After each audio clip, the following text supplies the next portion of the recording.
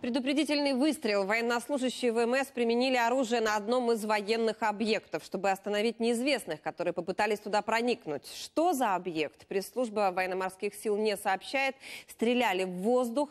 По предварительным данным, нарушители пытались украсть драгоценные металлы. В связи с инцидентом командование ВМС в очередной раз напомнило, что в случае провокации возле военных объектов силовики имеют право применить оружие.